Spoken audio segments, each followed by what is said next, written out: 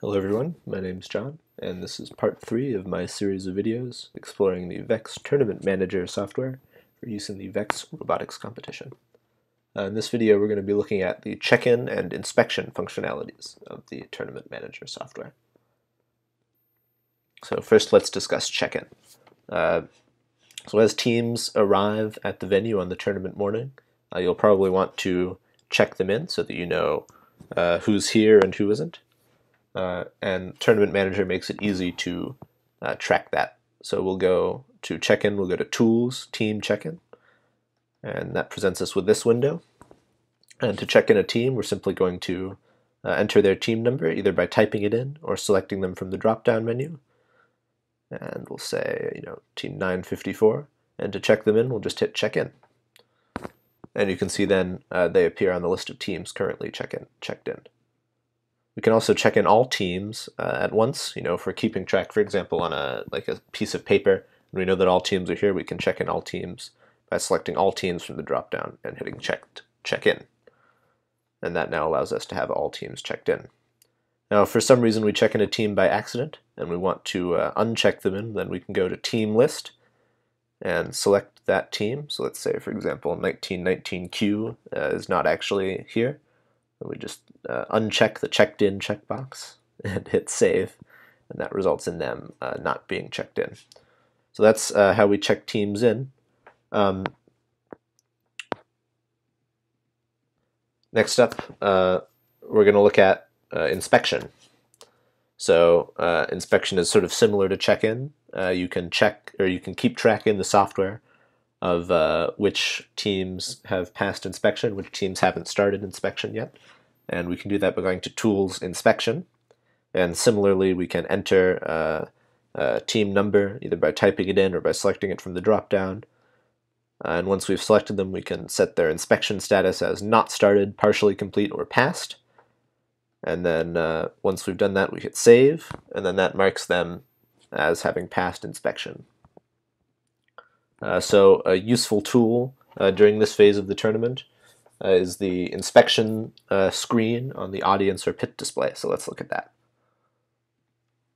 Let's create an audience display. And we'll bring up the inspection screen there. So here we see the inspection screen. And you can see we've got a list of all the teams uh, and their numbers are shown in different colors. So we'll go through what the colors mean. Uh, gray uh, indicates not checked in, so we can see here 1919Q is the team that's not checked in, and they appear as gray. Uh, red indicates that a team is checked in, but inspection has not been started. Uh, green uh, strike through as 1234B indicates that a team has checked in and completed inspection. And there's one more color, which we're not seeing, and that's for uh, a team that is checked in and has inspection partially complete. So let's mark that. And we can see now that that team appears in amber and with their team number underlined. Uh, so this is a, a, good way to visualize um, who or which teams still need to be inspected, both for uh, the inspectors and the people running the tournament, and also for the teams themselves. Um, so that's the inspection screen. And uh, so once everyone is checked in and inspected, uh, something that might be necessary is to regenerate the match schedule to exclude any teams that aren't checked in. So that's possible at a Tools Regenerate Match Schedule. And this brings up uh, actually a, a, sort of shortened version of the tournament setup wizard that only shows the match schedule uh, portion. So uh, the relevant area is this pane here, and uh, we can choose either to regenerate the match schedule including the teams that have not checked in or excluding the teams that have not checked in. So in this case we're going to exclude the one team that is not checked in, and we'll hit next, and then we'll regenerate the qualification match schedule. And uh, now we've done that.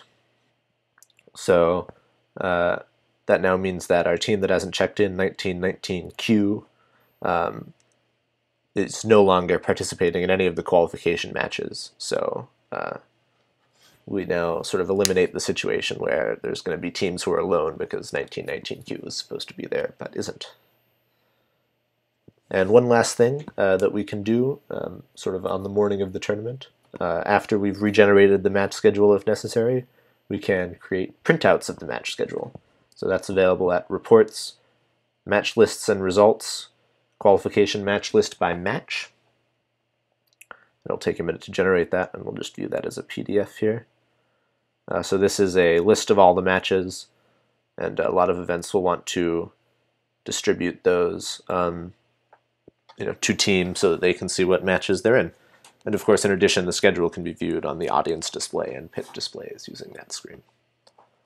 So that's it for this part. Uh, in the next video, we're going to be looking at uh, running qualification matches. So we'll see you then.